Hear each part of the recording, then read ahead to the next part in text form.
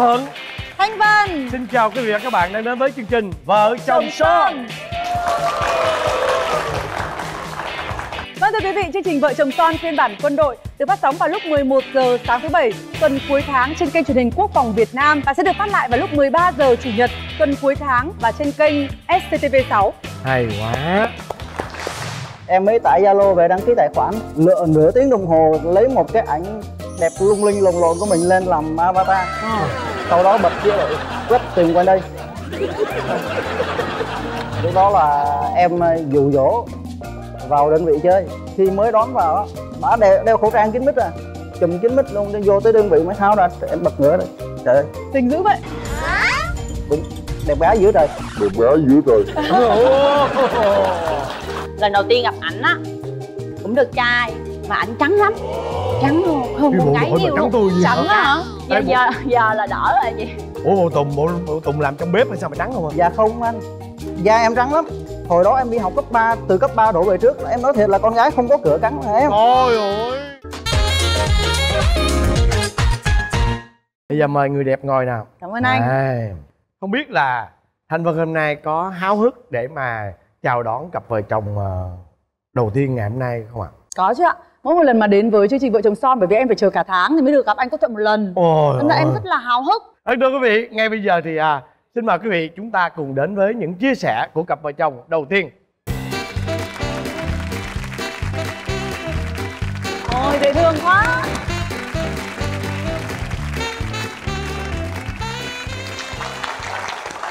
Hôm nay em thấy là cô dâu nhìn rất là xinh ấy. Cảm Mà- giác như khuôn mặt nó toát lên một cái niềm vui khó tả lắm anh. Ừ. Dạ, xin chào anh ờ, Quốc Thuận, xin chào chị Thanh Vân, Dạ. xin chào à, toàn thể cán bộ chiến sĩ và ekip làm việc trong trường quay ngày hôm nay. Tôi tên là Lê Quốc Tùng, cấp bậc là thượng úy, chức vụ là chiến dị viên đại hội 20 trinh sát. Rồi xin mời à, em. dạ em chào anh quốc thịnh chị thanh vân à, em tên là lê thị trâm năm nay em 27 tuổi hiện tại là em đang à, làm việc và sinh sống tại tây ninh luôn ạ em làm à, nhân viên chăm sóc khách hàng dạ Thôi giờ mình hỏi cái giai đoạn đầu đi em. À, vâng vâng vâng. Chắc là hai bạn quen nhau lâu rồi đúng không? Em ờ, quen nhau từ hồi em mới ra trường là cách đâu 6 năm rồi. Sự lúc đó vợ em chỉ là nạn nhân thôi. À, năm 2017 khi em ra trường với một cái khí khí thế hừng hực của một người thanh niên ờ, đeo quân hàm sĩ quan trên vai thì Ồ, em quyết tâm là không sử dụng smartphone để tập trung vào công việc nhưng mà em em về đơn vị mới nhà em lại trước trước đó là vũng tàu thì lên trên tây ninh để công tác thì nó xa gia đình cũng nhiều cái buồn. À, đêm về sau khi ờ, giờ ngủ nghỉ bộ đội thì mình về phòng cảm giác nó trống vắng cho nên là được ba hôm sau em thôi trích tháng lương đầu tiên ra sắm cái smartphone. Quyết tâm giữ chưa? quyết tâm giữ chưa? em mới tải zalo về đăng ký tài khoản. Nửa, nửa tiếng đồng hồ lấy một cái ảnh đẹp lung linh lồng lộn của mình lên làm avatar. Sau đó bật chế độ quét tìm qua đây. Thì lúc đó là vô tình em cũng kết bạn với nhiều bạn gái lắm. Nhưng mà sau khi đặt điện thoại xuống khoảng tầm 5 phút thì thấy nghe cái tiếng tinh đấy tinh đấy. Em bật lên là em thấy vợ em đồng ý kết bạn. Đầu tiên em không nói gì cả. Em đặt lên em coi hình. Mà lúc đó ấn tượng đầu tiên khi em coi hình của vợ em trên đấy là nhìn rất là ngố. Với cặp mắt kính to đùng như thế này.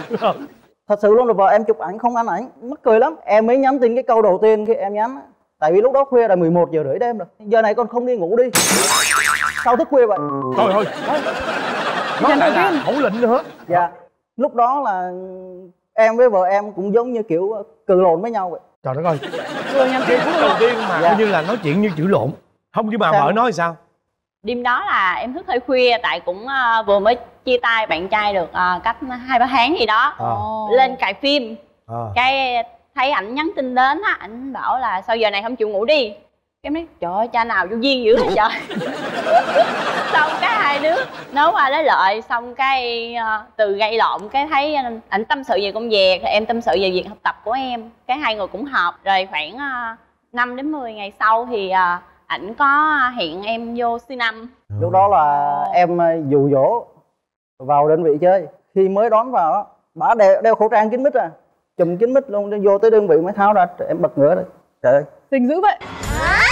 Cũng đẹp gái dữ trời. Đẹp gái dữ trời.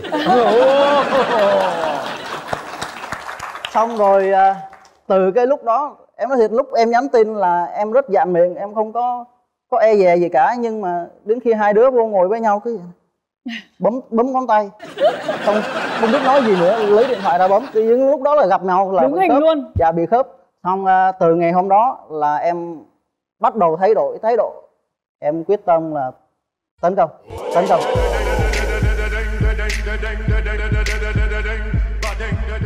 Cái điều gì mà khiến mà em lại nghe lời ảnh và và em em vào trong đó gặp ảnh cái này em em nói suy nghĩ em trước. Cái này Ờ. em em cũng bản thân em cũng chưa hỏi luôn. Ờ. Lúc đó em rủ vào thì vợ em mới vào xem thế coi là thằng này là thằng nào mà sao nó nói chuyện cà chớn vậy. Đúng không? Đúng rồi đó. Thấy avatar cũng ờ, được lúc đó là kiểu như ảnh giống như là một người anh mà ảnh ra lệnh mình này khi mà từ nào giờ chưa có ai mà làm quen mà ra lệnh kiểu đó với em hết á. Dạ. Nên em muốn ờ, xem ảnh sao. Thì à, cái ấn tượng của em khi mà lần đầu tiên gặp ảnh á cũng được trai mà ảnh trắng lắm. Trắng luôn Cái con gái nhiều trắng tôi gì Trắng hả? hả? giờ, Ê, giờ giờ là đỡ rồi chị. Ủa bộ tùng bộ, bộ tùng làm trong bếp hay sao mà trắng không à? Dạ không anh. Da em trắng lắm hồi đó em đi học cấp 3 từ cấp 3 đổ về trước em nói thiệt là con gái không có cửa cắn em ôi ôi nhưng mà từ khi vào đơn vị là thường xuyên ở học tập công tác ở ngoài nắng thì nó đen da đi thôi. Nhưng mà khi em mới ra trường thì ờ, ở quân khu các thủ trưởng cũng tạo điều kiện cho nghỉ hai tháng ở nhà. Thì hai tháng đó em chỉ ở nhà không? Ừ. thì em nhả nắng rất là nhanh. Lại trắng em lại. em chỉ cần hai tuần thôi là nó trắng trở lại. Thêm cái nữa là à, thấy rất là ấn tượng cái dáng đi của ảnh như người mẫu vậy á. Dạ. Ờ, đi thì thẳng ngực cong mông cũng cong luôn. Ôi. em em em em muốn coi tùng đi không? Có có. Thử coi thử coi. Tùng bây giờ đứng lên tùng. Đừng có nghiêm nha. Đi bình thường đứng đi đi.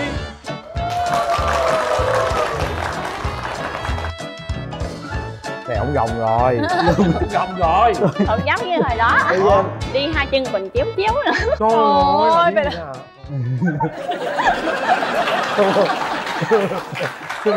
như vậy là cảm giác như là bạn này hơi hơi háo sắc nha. Ừ. À. Từ nãy giờ khẽ- toàn khen chồng là rất là đẹp trai đi như người mẫu rồi trắng. Không cả hai đứa nó háo sắc hết luôn. Như nhau luôn. Rồi thế rồi sau đó bao nhiêu lâu sau thì tùng chính thức tỏ tình? À chưa chưa. Sau đó là em ờ, mới rủ bả đi ờ, núi bà có lên cái động kim quang á. Rồi đây là sao một bí mật em giấu đó giờ cứ hỏi em hoài là em đến ông khánh cái gì. Ờ. thì hôm nay là trước chương trình em có nói thật luôn lên động kim quang em mới khánh là em tán được bả. À. mà công nhận là thiên thật. Đó. nhưng mà có một cái cái kỷ niệm vui trước khi đi núi bà này mà tới giờ em nghĩ là em vẫn còn ngại. Đó là bạn bè cùng khóa với nhau á có mời nhau ra ngoài thì cứ uống được hai ba lon bia em uống không được nhiều. Về cũng có ngà, say nhiên nửa đêm em lại nhắn tin em thích bả. Giật mình lại thấy, thấy vô duyên quá em lại thu hồi lại. Bà cũng có xem được rồi mà dạ lơ bà cũng có xem được rồi. Mà dạ lơ sáng em mới hỏi là tối qua có thấy tin nhắn không thì lại kêu là không. À. Đó. dạ thì ảnh nhắn là à, anh yêu em em có Ờ. thể là bạn gái của anh không? Nhưng mà lúc đó em ngại á em em thấy nó hiện trên cái điện thoại nhưng mà em không có mở vô xem. Cái ngày sinh nhật là ngày 20 tháng 12 thì đó em biết sinh nhật có em không có hỏi nhưng mà em ờ, tự tìm hiểu thì, ờ, ngay cái đêm hôm 20 đó thì vô tình là đơn vị em là bị chập đường điện hư điện. Em dự định là đi ra từ buổi chiều rồi lúc đó em nhắn tin là em cũng không nói là, là gặp nhau để làm gì. Mà em chỉ nói là nhắn tin ra coi công viên ờ, thắng lợi. Em mới tỏ tình em bảo là anh thích em đồng ý làm bạn gái anh nha. Thì bảo mới gật đầu cái rập. Bảo mới gật đầu cái rập. Dạ tại lúc đó là à, em thấy sự chân thành của ảnh á tại vì lúc đó là em đang đi học môn học cái đang học với bạn. Bữa đó bài cũng quan trọng lắm cái tự nhiên anh điện đến anh bảo là em à, đang làm như vậy ra gặp ờ, với anh xíu. Cái em bảo là em đang học mới ra được. Anh nói trời ơi à, ảnh mới ảnh sinh ra được khoảng có 15 20 phút à không Ừ. có ở lâu được. À, ảnh đạp xe đạp từ ở suy năm á chạy ra tới công viên. Ồ. đang chờ em em nghe đạp xe đạp từ ở suy năm ra tới đó. Tự nhiên hay siêu lắm thôi em trốn học luôn. Sau em chạy ra thì à, thấy ảnh đang à, để chiếc xe đạp kế bên. Rồi ảnh ngồi ảnh à, dở bánh kem ra trước đốt sẵn cái chờ em lại anh chúc mừng sinh nhật. Ôi cái hình ảnh thật sự em thấy cái hình ảnh đó Dạ. hình ảnh nó rất đẹp em đúng đúng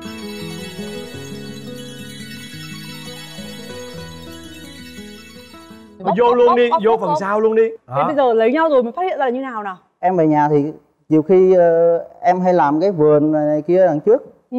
xong cái khát nước cái lội cái chân vô trong nhà xong ba quay ra bãi chửi xong ba quay ra bãi chửi. Em nói ở nhà là lâu nhà đâu 80 lần.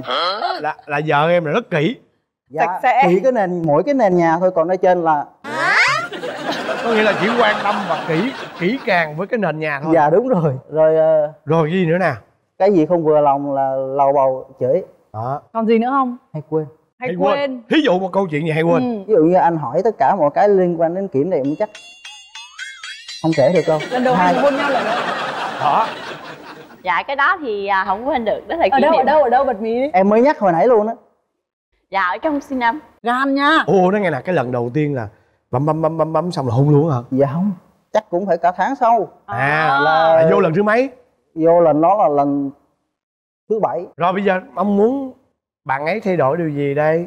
Chồng em thì ảnh ờ, hơi nóng tính một xíu. Ảnh về thì kiểu như trong quân đội á công việc ảnh ờ, làm phải xong á nên nhiều khi cái thời gian nghỉ ngơi nó không có nhiều không có Ừ. ngủ nhiều. Nên về nhà ảnh ngủ rất là nhiều. Nên à, em cũng mong muốn là ảnh à, bớt nóng lại trong Bớt mọi tình lại. huống công việc hoặc là trong à, gia đình. Em mong sau này có thời gian nhiều hơn. Tại vì ảnh làm thì nhiều khi trực chiến không được về một tuần thì về khi có hai lần ừ. hoặc một lần. Nên cũng không có thời gian chơi với à, con ở Ừ. nhà có một lần à, ảnh à, ru bé ngủ á đưa cho bé ngủ á bé ngủ ở trên. Ảnh thì nằm ở dưới xong bé nó tè lên người cũng không biết luôn. Hai bố con cùng ngủ. Dạ xong. Không bé chưa ngủ em ngủ rồi. Vậy đó à, cái tật xấu của ổng là cái gì? Ngủ nhiều. À, con tè lên người không biết. Con tè lên người không biết luôn. Ừ. xong rồi con lại kêu ba ba ba cũng không hay luôn. Không hay luôn thôi bây giờ nãy anh quên hỏi là mong tùng muốn tùng của em. có tùng. mong muốn gì không? Đối với em thì vợ em nếu mà thay đổi em không quen. Ờ. ờ, tức là yêu đến mức mà không có Dạ. nhu cầu thay đổi luôn đúng không em? Đối với em thì nhiêu đó là đủ rồi. Ừ. rồi thế bây giờ à, đứng lên ôm vợ một cái để thể hiện tình cảm như nào. Đấy. Rồi, à, cảm ơn em à, trong thời gian qua đã dành tất cả mọi cái à, tình cảm cao nhất những tình cảm thiêng liêng nhất là dành cho anh. Ờ, đáng yêu quá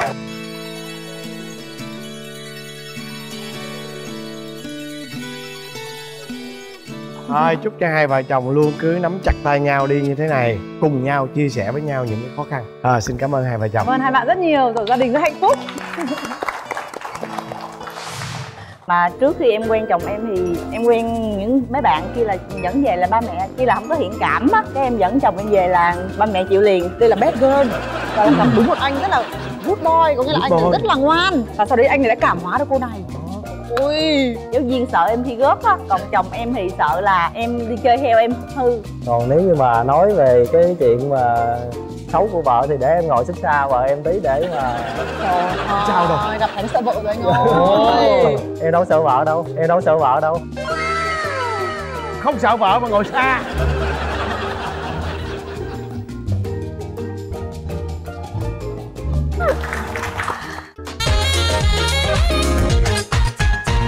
Xin mời quý vị chúng ta cùng cho một tràng tay chào đón cặp vợ chồng số 2 Trời ơi. Trời ơi. Quá trời chưa? À, hai vợ chồng có thể giới thiệu về bản thân được không? Chào ờ, anh ờ, anh thuận với ờ, chị vân. Dạ em. Em xin tự giới thiệu em tên là nguyễn hoàng thân. Năm nay em 31 tuổi đang công tác tại sư đoàn 5 đại đội công binh trực thuộc của trung đoàn. Bốn sao luôn á dạ, nhiều Dạ. sao quá dạ như em là đại quý. Đại úy rồi oách quá. Ờ, đã có hai đứa con trai. Wow. Và đây là bà xã của em. Không cần phải giới thiệu người ta cũng biết đây là bà xã của em. Rồi giờ xin mời vợ đại quý.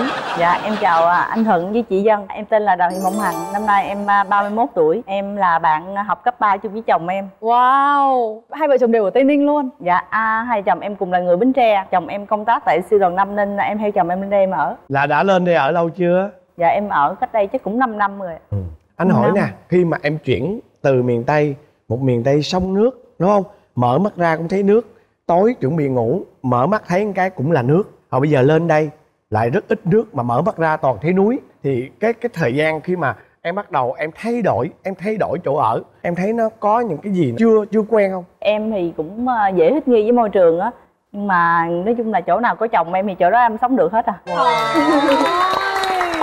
ngọt ngào tan chảy chưa? Anh hết hỏi luôn mà hỏi đi. Từ hồi cấp 3 là hai bạn đã thích nhau chưa? Từ hồi cấp 3 luôn á chị. Tụi em là học chung lớp 11 vậy là đến bây giờ là mối tình này đã được bao nhiêu năm rồi? Từ 2011 tới nay là cũng 12 12 năm. 12 13 năm rồi. Lớp 11 mới học chung hả ta? Và lớp 11 nhưng mà lớp 10 hai đứa học đâu? Lớp 10 thì học khác lớp. 11 mới học chung là thích Dạ. nhau luôn. Lớp 12 mới mới quen nhau. À, lớp 12 mới thích nhau. Dạ. vậy thì là lớp 11 là đã có cảm tình nhau chưa dạ không lớp 11 em có người yêu rồi. Trời, trời. quay ngược thời gian lại kể lại cái giai đoạn mà các bạn quen nhau. quen nhau ra sao? Cho anh nói trước đi. Thân em có nhớ cái khoảnh khắc đầu tiên mà em nhìn thấy bạn này không? Cái lần đầu tiên mà vào chung lớp nhìn thấy nhau á. Lúc đó đang để ý bạn khác rồi anh ơi. Chắc để nhỏ lực lượng mới vào lớp 11 thì cũng chưa có để ý anh. Sang năm lớp 12 rồi xong là bạn bè quen rồi rủ nhau đi chơi rồi này thế kia. còn em thì em có để ý thân không dạ không có hiền chú hiền. ý gì đó mà dạ bạn cũng dạng như thấy hiền hiền khờ khờ thấy tội nghiệp thôi à chứ không để ý tới tội nghiệp. Hiền hiền khờ khờ mà giờ tao lên đại quý đó. Rồi đến lớp à, 12 thì cái điều gì mà khiến cho hai đứa lại à, để ý nhau? Tới lớp 12 thì cũng là bạn bè rồi thì chơi chung với nhau một nhóm rồi Dạ, ai vâng. ai thích ai trước không có ai nói thích ai hết có Ủa? thời gian thôi là ông này ông không nhớ gì đâu Chắc vợ giờ kể chi hỏi tiết hơn giờ nhỉ? giờ hỏi chị đẹp nè năm lớp 12 là lúc đó là em cũng chia tay người yêu rồi cũng đang buồn năm đó là năm cuối cấp á lớp thì có đứa những bạn hiền những bạn cá biệt thì em lại chơi chung với cái nhóm cá biệt mà chồng em thì thuộc dạng là hiền rồi không biết sao đứa nào dụ dụ đi chơi chung mà chắc lúc đó là cũng để ý em rồi mới đi chơi chung nè thì đi chơi chung thời gian thì em thấy cũng tội nghiệp cũng lủi lủi theo em vậy đó. Thì em thì kiểu giống như là em cũng hơi cá biệt. Lúc đó em có dẫn về nhà gia đình. Mà trước khi em quen chồng em thì em quen những mấy bạn kia là dẫn về là ba mẹ. Kia là không có hiện cảm á. Cái em dẫn chồng em về là ba mẹ chịu liền. Thấy cái mặt hiền mà tử tế quá vậy đó. Chồng em thì cũng ờ, đưa đi, rước về, đưa học á. Lúc đầu thì cũng đi chơi với em, đi theo hát hò đồ này kia vậy đó. Rồi xong không biết sao dụ em, sao quay lại? Dạy cho em học luyện thi cho em. Xong năm lớp 12 cái em mới uh, hy vọng tốt nghiệp. Chứ năm đó là em cũng uh, hả trôi vậy đó. Đây là bad girl và là gặp đúng một anh rất là good boy có nghĩa là Good anh boy. rất là ngoan. Và sau đấy anh này đã cảm hóa được cô này. Đó. ôi giáo viên sợ em thi rớt á còn chồng em thì sợ là em đi chơi theo em hư. Làm hư chồng. Thời gian đầu đầu cũng như là giả bộ đi theo em vậy đó. Cái em tưởng đâu là ừ, đi chơi thì em cũng đâu để ý đâu nhưng mà sau á là lâu em ngược lại ồ hả? dạ cái tính em cũng hơi à, giống như kiểu hơi ngang tàn đi vậy đó Ờ. nhưng mà chồng em thì cái người điềm đạm hiền Ừ. cái em tiếp xúc lâu ngày cái cái tính mình nó cũng bị nhu lại bớt ba mẹ mình đã đã rất là ưng cái anh này nữa ừ. mà anh này cái đường lối với lại cái kiểu như cái tư tưởng của ảnh nó chững chạc còn mình thì kiểu giống như còn hơi nghịch phá này kia vậy nó đó. hơi trẩu chút xíu. Thế khi nào thì ờ, em bắt đầu cảm thấy có tình cảm với vợ của mình? Năm lớp 12 thì tụi em là cũng ờ, đi chơi chung với nhau ấy chị thì ta chỉ là không nói ra thôi. Dạ không nói hai người đều cảm giác là người kia có tình cảm với mình. Dạ. Cũng ngầm cũng khai là quen với nhau rồi vậy Ừ. cũng không có ai tỏ tình ai hết á. Không ai tỏ tình ai. Dạ. Không tỏ tình bằng lời nói thì cũng phải có một cái cột mốc Đúng. hoặc phải có một hành động gì Đúng. đó. Em thì thích đi chơi còn chồng em thì kiểu giống như muốn kéo em lại con đường học hành vậy đó. Em đi chơi đâu thì lủi lủi đi theo rồi kế bên như kiểu giống như giữ chủ quyền vậy đó. Nhưng mà nhưng mà ổng có nhát không? Dạ nhát. Em chủ động nắm tay ổng hay ổng chủ động mấy cái này chắc ảnh chủ động quá. Ờ. rồi ai chủ động hôn ai? Chắc anh luôn quá hả? Cái dấu ấn. Để mà khẳng định là chủ quyền. Đó Ừ. em là chủ quyền của tôi đó là lúc nào gùng đang gùng. Mặt lại không nhớ thôi cơ vậy lại xin lỗi ba mẹ qua tivi trước đi rồi nói. Cái thời điểm này ờ, do cái thời gian dài quá nên em cũng không nhớ rõ được. Trời Rồi, không nhớ rồi xong. Gặp đúng đâu ông. em nhớ không? Nói chung Không là tụi em quen nhau thời học sinh đó nên mình còn vô tư những cái hành động đó mình không có để ý là ừ khi nào bắt đầu nắm tay hay là kiểu gì. Không luôn. nhưng mà nụ hôn đầu thì nó là năm học sinh hay là về sau rồi? Chắc học sinh rồi đó chị. Học sinh đã đã giảm là hôn lớp nhau 12 rồi. đúng không? Dạ. Cái lúc cầu hôn thì là ai cầu hôn ai? Họ cầu hôn luôn họ cầu hôn luôn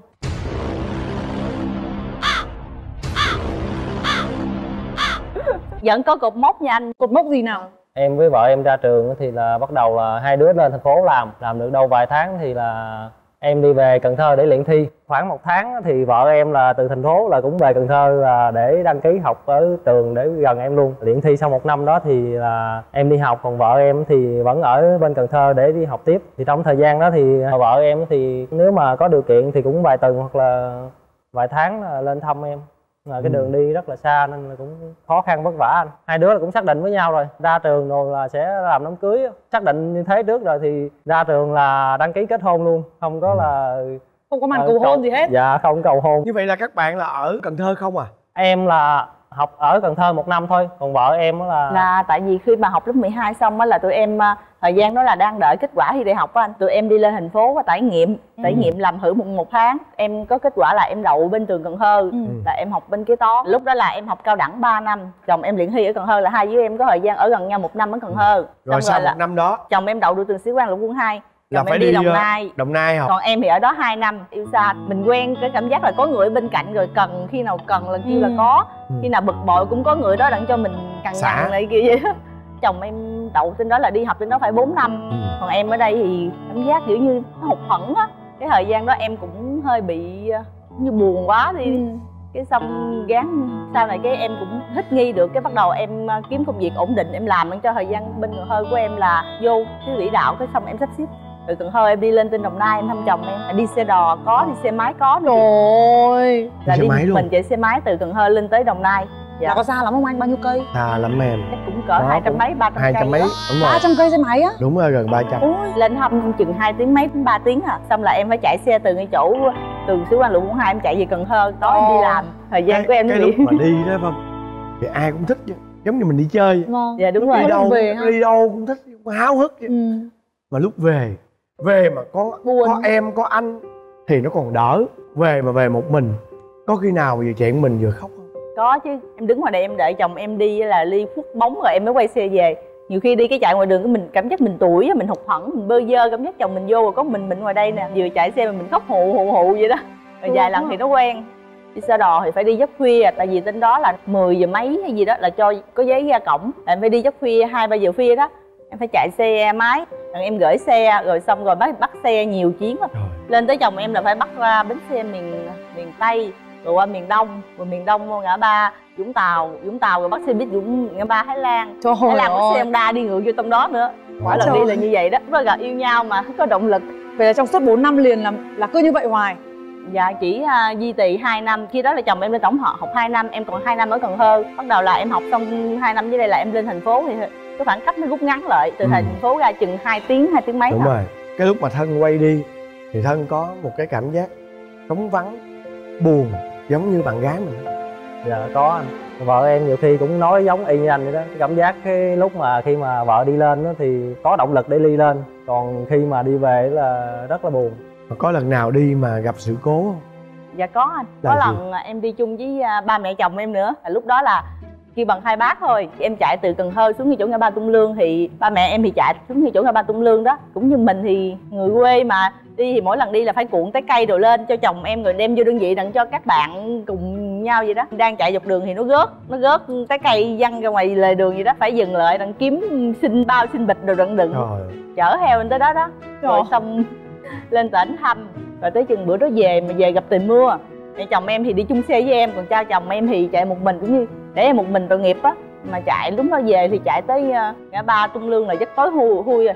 Chắc bảy tám giờ tối á chỗ cái cột móc tới qua tới cần thơ là một trăm cây số nữa. Trời cái ơi. mẹ thấy ờ, tội nghiệp quá cái mẹ cũng đi theo em đặng cho cha về một mình. Đi qua tới bên cần thơ rồi xong cái mẹ cũng ờ, ở bên bệnh bữa sau mẹ bắt bắt xe từ cần thơ về tới đây. Ôi, Ờ. thương mẹ chồng không? Trời ơi. Rồi sau này cũng có lần em đi một mình bị móc bóp nữa. Con. Mất bóp hả? Dạ. Nhiều tiền không? Lúc đó là chuẩn bị ờ, đóng tiền học mà rút ra cũng hai ba triệu mà cái thời điểm đó là hai ba triệu mình đi làm được cũng cũng cũng là cũng Vất số tiền của mình rồi. Ừ.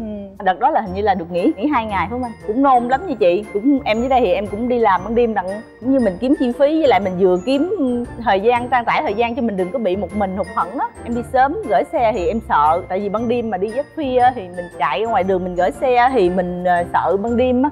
Nên mình em nhín nhín chút xíu nữa cho sáng sáng hơn chút xíu để em gửi xe. Mà bữa đó đi ra bến xe em gửi được xe cái bắt đầu bị tể xe. Cái bắt đầu em mới kêu xe em ra chở em ra chỗ bến xe cần thơ á, em chờ em chờ cái, có chiếc xe đó nó rước em lên. Mà em thấy trên xe cũng có mấy người ngồi, nhưng mà nó hỏi em hai ba câu, cái bắt đầu mới vừa qua cầu hơn cái nó kêu em, thôi xe này đi khác chiến rồi, kêu em đi xuống. Em xuống thì em cũng đâu có biết nó là cái chuyện gì đâu. Cái em đứng ngoài em bắt xe chuyến sau, cái bắt đầu bắt được, đi được một đội rồi cái tới ờ, tới trạm dừng chân á mình vô mình ăn cơm tới chừng trả tiền thì không có tiền. Trời ơi. Mất tiêu cái bóp không hay mà mất giấy tờ hết trơn luôn. Trời đó đợt đó cũng gặp cái anh à, chủ xe đó lái xe đó cũng nhân hậu nữa. Chở em tới cái chỗ uh, cái ba thái lan luôn. Ừ, cho mượn tiền đi xe honda tức là nhờ cái anh tài xế đó. Dạ cái anh xe đó đó ảnh ảnh đáng lẽ mình phải trả tiền cho ảnh. Ừ. mà đằng này ảnh không mượn lấy nữa. tiền mình mà cho mượn mình rồi chỉ xe cho mình đi được tại lúc đó mình không có tiền. Rồi sau này có gặp lại ảnh không rồi xong sau này em về cần thơ em trả tiền lại cho ảnh thì cũng mang ơn cái anh đó đó.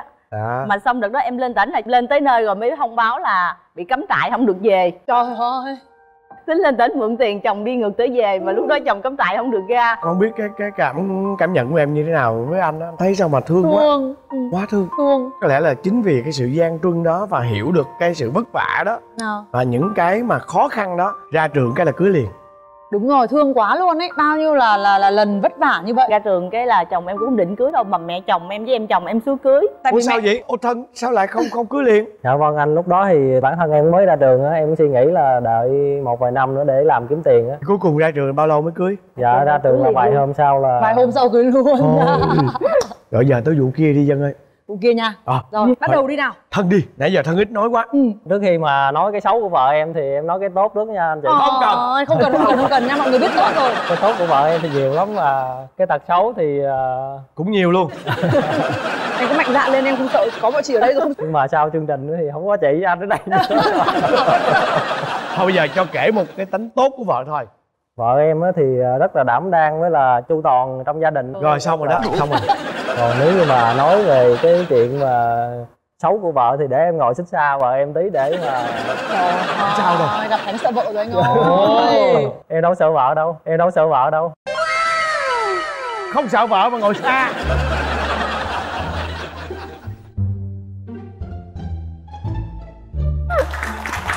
Anh ơi vừa nói cái câu em đâu có sợ vợ đâu mà vừa ngồi tránh như thế này đâu mồ hôi rơi có mấy anh trong đơn vị hay nói vui với anh. Ví dụ như là kêu một nhóm á là ai mà sợ vợ thì đứng qua bên còn ai mà không sợ vợ thì đứng bên. Mình em đứng bên à bên nào? Bên không sợ vợ bên không sợ vợ. À. Ô, cái anh đó mới lại hỏi em đó là tại sao mà em không đứng qua bên kia? Em mới nói là tại vì vợ em nói là đừng có đứng gần đám đông vợ em á là cũng hay có tật xấu là nói chung là nấu đồ ăn anh nấu đồ ăn là nấu nhiều. Đảm đang ủa quá. nấu nhiều sao mà là là, là, là, là xấu? Ví dụ như là anh khả năng anh ăn được một tô cái tầm này thôi phải không? Thì vợ em sẽ nấu một tô cái tầm này. Tức là bị thừa thức ăn ra đúng không? À. rộng rãi. Đúng đó, rộng rãi. hào sảng ấy mà chưa xấu chưa xấu. Thế đi thôi để vợ vợ kể tính xấu không cho. không không. Nghe cho lộ uống một bia nữa nha. Hồi Sao? nãy đưa hai đứa con về nhà hả chị rồi lấy đông bia heo rủ rủ cái anh quay chung á là khui ra ăn cơm người uống lâu đặng hồi dậy lên mới dám nói. Vợ có bừa bộn không? Có ờ, ăn hiếp chồng hay không? Có hay rồi la á, không? có hay la chồng hay không? Ờ. có hay cãi lại chồng hay không? Vợ em thì ờ, không có cãi chồng nhưng mà thường thì đôi khi là hay la quát con rất là lớn tiếng. Cả xóm nghe hết luôn anh giọng khỏe. Dạ. tại vì hai thằng con em là nghịch lắm. Hồi À. xóm này á là em có đưa nó vào đây mà do nó chạy nhảy nhiều quá là hai vợ chồng là quyết định là đưa nó về nhà rồi. Dạ. thôi giờ tới vợ chồng em thì tính tốt nhiều tính xấu thiệt em lấy chồng em cha mẹ em nói một câu là em đút đút mới kiếm được chồng em với gia đình chồng em Ừ. tính xấu thì nói chung không đáng kể. Có cái là nhiều khi chồng em hay bận rộn trong công việc á rất là yêu công việc khi mà làm công việc gì là làm theo kiểu như đam mê luôn vậy đó. Làm nhiều khi mệt quá rồi về nhà với mình là cái như là sức kiệt luôn rồi đó. Em ở nhà nhiều khi em giữ hai đứa nhỏ nhiều khi em cũng mệt thì em cũng trông chờ chồng em về đặng em ờ, chia sẻ. Chia sẻ. có người mệt hơn em cái chồng em về cái chồng em mệt mà mình đang mệt mà mình gặp cái đứa mà nó mệt hơn gặp cái đứa mà nó mệt hơn nữa mình quạo. Cái trạng thái của mình đang kiếm người đặng mình dựa dẫm mà cái người kia mình dựa không được cái mình quạo. Ờ. Nhiều kiếm chuyện này kia vậy thôi chứ. À. thật ra là chồng em cũng không có cái gì để xấu hơi mê ngủ làm cái tổng như mệt quá cái về nhiều khi tối ngủ á nằm xuống cái là em quay qua cái là em làm anh giật mình á. Ủa em chưa nằm xuống mà ừ anh ngủ rồi đó. Thân có ghen không dạ cũng có chứ. Ghen thì nhiều khi mình sửa soạn mình chuyên diện thì thấy mặc đồ thì ghen ghen này kia vậy thôi chứ cũng không ghen có cho có vị thôi á. Dạ À. đúng rồi ghen kiểu mà như vợ vị. như này làm sao mà không ghen được đúng không em? Dạ. Chồng em cũng thuộc dạng người là không xài tiền luôn. Làm tiền nhiêu đưa cho em thẻ ngân hàng đưa hết không có xài tiền. Trời đáng yêu quá không có ghen nữa. Cháu quỷ đèn cháu quỷ đèn. Không có quỷ đen luôn. Không có quỷ đen anh nên bởi vậy nhiều khi tới lễ đâu đó em cũng đòi quà nhưng mà em nghĩ lại đòi quà thì có lãng mạn đó nhưng mà cùng cũng tiền của mình hơi uổng quá. Phải chi bà vợ nào cũng như em hết ta ok. Cho chị xin vía là chồng đưa Dạ. hết tiền nào? Xin vía chồng đưa tiền cho mình. Thôi bây giờ thân mong muốn vợ mình thay đổi điều gì để cho hoàn hảo hơn nè. Vợ nên ờ, bớt nóng tính tí. Tức là Ờ. la con la cũng vừa vừa thôi. Cái mong muốn này chị nghĩ là cũng rất đơn giản đúng không? Mình có thể thực hiện được mà đúng không thế còn em có mong muốn gì để cho thân thay đổi không Ừ, thì em chỉ à, muốn chồng em à, làm việc thì vẫn làm vẫn cống hiến hết nhưng mà cố gắng ở đơn vị được thì về nhà cố gắng thêm chút xíu nữa cho Vâng. nó vui thôi Ờ. anh hiểu để cho vợ bớt nóng hơn Ừ. là về nhà đừng có ngủ liền đúng có những lúc thì cũng giỏi lắm về nhà lúc nào mà khỏe là chăm con phụ em nè ăn cơm đồ dọn rửa chén đồ đảm đang lắm. Tới lễ á không có tiền tặng quà nhưng mà tổng tự trồng bông hồng. Cứ lễ là đem về tặng em các bông hồng tự trồng đem về tặng em. Trời ơi. Còn gì nữa ta? Lãng mạn nữa chứ. Bây giờ hai người có thể à, thể hiện một cái tình cảm dành cho nhau. 12 vợ chồng. Thôi mình đàn ông mình thể hiện trước đi nào. Thể hiện đi em. À.